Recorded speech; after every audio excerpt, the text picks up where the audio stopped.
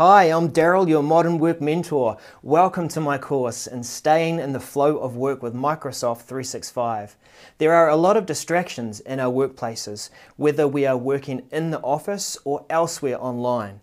In this course, I'm going to show you how to use apps within Microsoft 365 to plan and maintain your focus while you work. You will learn what it means to be in the flow of work and why managing that flow state is so important. The lessons we will cover will be topics like starting your day and getting your flow state started. What can you work on? What were you working on? Has anyone contacted you with more work?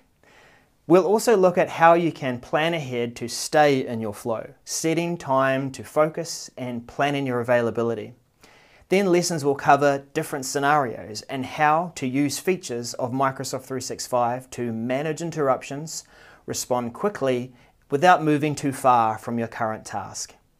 Content in this course will change over time as new apps, features, methods become available in Microsoft 365. So let's get started.